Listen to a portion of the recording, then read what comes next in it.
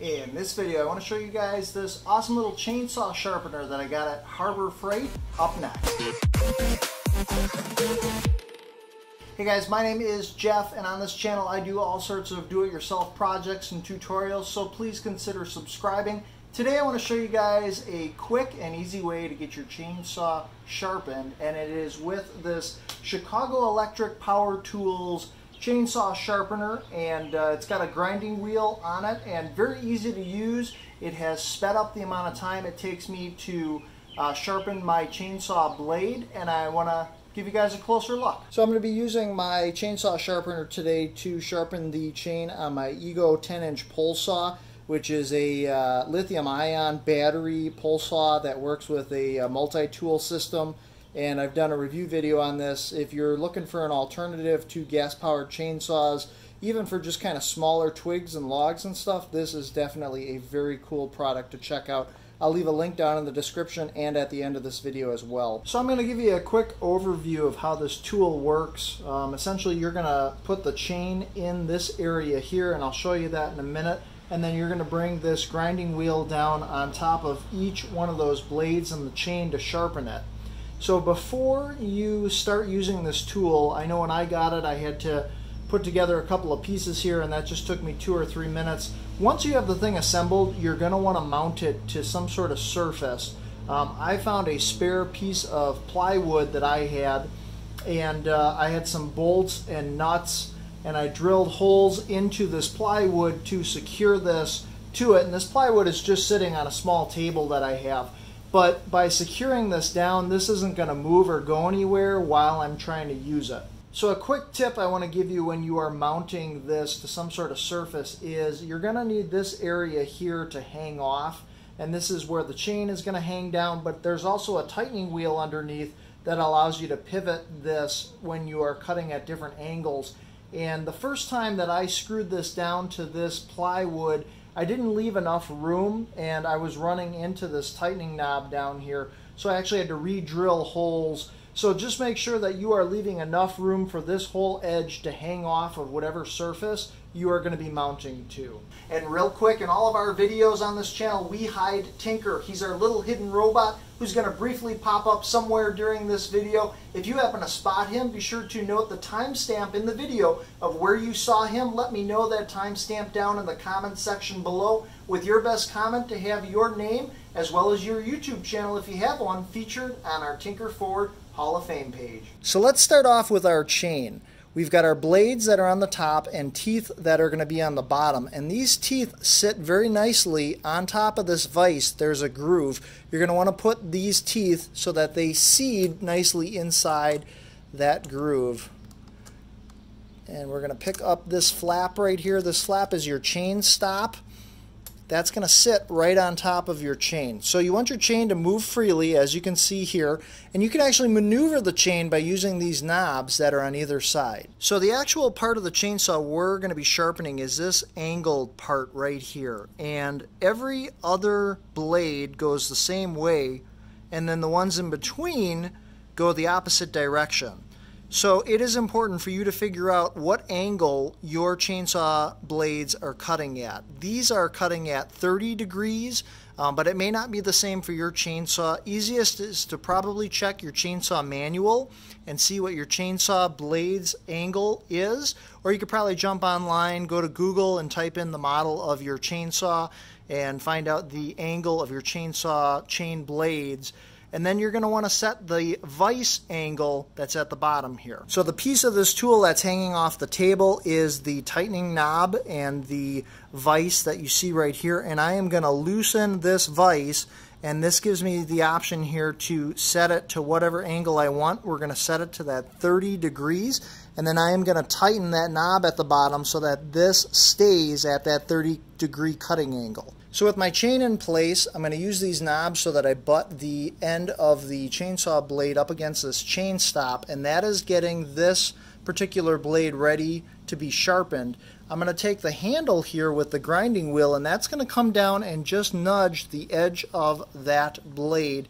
Now there's a couple of things, a couple of settings that you're going to want to set. So with your chain in place and set to the correct angle, as you bring your grinding wheel down, this grinding wheel is going to graze the bottom portion of that angle of the chain that you're trying to sharpen right here. And if you are noticing that this wheel is not hitting in the correct spot, you can use this chain stop adjustment knob here and if you turn it one way it's going to move the chain in one direction so it would get a little bit closer and I can try again here and see that now that is too far my grinding wheel would be hitting the top of it or I can again move this back and then just turn this wheel here and that is going to bring my chain back a little bit you adjust that knob until you get this grinding wheel right in the right spot. Now I'm not even touching the blade at this point, so I will need to bring it forward again just a little bit. You just want the edge of that grinding wheel to be touching or grazing the angle of your blade. So the next adjustment you're going to make is with your depth stop screw right here, and by turning this, that is going to adjust the height of this depth stop. This is going to hit this plastic piece right here, but as you are bringing your grinding wheel down, this is going to control how far down you can actually bring your grinding wheel. When I am adjusting that depth wheel, you'll notice as the grinding wheel is coming down here, I want it to stop right as it's grazing the edge of this blade. I don't want it going down too far or it's actually going to start cutting into the chain itself. So I want to make sure that when I am adjusting the depth that I am adjusting it so that it stops at the right spot. So the last adjustment you're going to want to make sure is snug is you've got this clamp lock nut right here and when I am pushing the handle that's at the top of this tool that is actually clamping tight onto my chain so that when I am sharpening this chain isn't going to move or go anywhere. Make sure that you have this tightened so that when you are pulling on the handle up top, this is making a snug connection to hold your chain in place. So with your chain set up and ready to go, you're going to squeeze the trigger or the handle on here and come down and you are going to go ahead and sharpen that blade. Then you can use these knobs here to just move. You're going to skip this next one because the angle is the other way and go to your next blade here. Make sure that that is set up ready to go, bumped up against there. Go ahead and lock your trigger and go down, sharpen that one, and continue sharpening until you're all the way through. Now I would recommend that you get yourself a bright colored Sharpie marker or something, and you can actually color the first blade that you are going to be sharpening, and then that way when it comes around again, you'll have an easy way of knowing where you started with sharpening.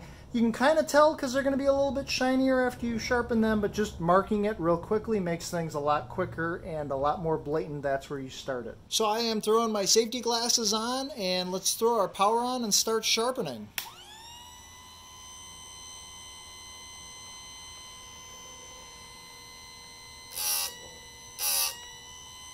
And when you are sharpening the blades, you don't have to spend a lot of time. You just need to go over it enough so that you're going to see some sparks and you're going to feel it grinding up against the blade. So you can do it once or twice and then go to your next blade.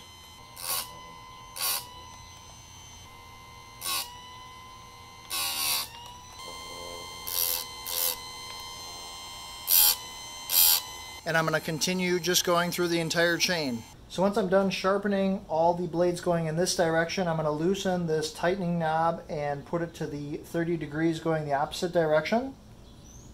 Making sure that's lined right up at the 30 degrees. And then I'm going to check how this wheel seems to be lining up. Looks to be pretty good. So we're going to start it up and do the and do the other ones.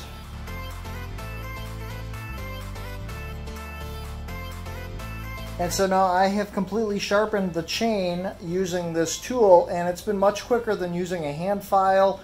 It probably took me two minutes to do this entire chain. So overall, I think this is a great tool at a great price point. It has helped make sharpening my chainsaws a lot quicker and easier and I think it's very easy to use. I picked up learning how to use this tool very quickly. Hopefully I was able to teach you something in this video on how to use this. Um, if you learned something or if you found this video useful, please be sure to hit that like button. And if you haven't yet subscribed here, take one second, hit that subscribe button as well as click that little notification bell. You'll get notified as I release new videos weekly here on this channel. My name is Jeff. This is Tinker Forward. As always, I appreciate you guys watching. Be sure to make every day awesome, and I will see you guys in the next video. But I've got all these sharpened chainsaws. I got to get out and cut some stuff down. We'll see ya.